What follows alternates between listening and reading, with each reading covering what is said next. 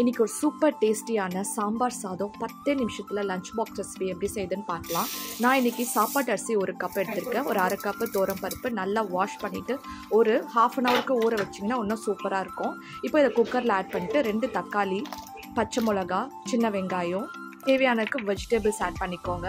நான் என்கிட்ட கத்திரிக்காய் பீன்ஸ் கேரட்டு கொஞ்சம் மஞ்சத்தூள் ரெண்டு ஸ்பூன் சாம்பார் மிளகாத்தூள் கொஞ்சம் தேவையான உப்பு ஆட் பண்ணிக்கோங்க. ஸோ இதை மூடி போட்டு ஒரு நாலு விசில் வச்சு எடுத்துக்கோங்க. இந்த அளவுக்கு நல்லா குழஞ்சி வேகணும்.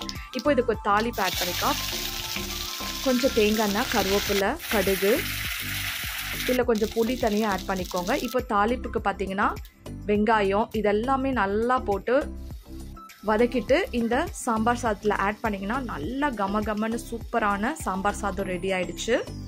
உங்களுக்கு இந்த வீடியோ பிடிச்சிருந்தா லைக் பண்ணுங்கள் ஷேர் பண்ணுங்கள் தேங்க்யூ பாய்